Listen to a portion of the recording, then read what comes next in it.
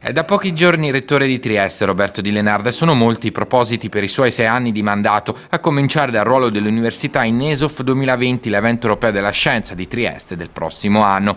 Unire città e istituzioni scientifiche Ateneo è uno dei suoi obiettivi, per esempio facendo di Cattinare un centro di ricerca didattica medico-scientifica, tema carissimo a lui che proviene dalla direzione del Dipartimento di Medicina. Un'idea che viene da lontano, ehm, che ehm, potrebbe avere delle potenzialità di sviluppo. I tempi dovranno essere più brevi, si augura il rettore, del trasferimento del Burlo a Cattinara. Per anni eh, abbiamo perso tempo a discutere se era bene o era male. La mia speranza è che per le idee buone si possa arrivare presto a concretizzazione. Un'altra idea, se ne ragiona col Ministero, è l'apertura di un centro multidisciplinare di intelligenza artificiale che potrebbe coinvolgere anche il sistema del porto. Sul tema della consegna alla minoranza slovena dell'ex Narodni Dom, di Lenarda pone solo un paletto. Io sono ovviamente rispettoso delle leggi, di quanto eh, l'istituzione ci chiede e di tutta evidenza che lo spostamento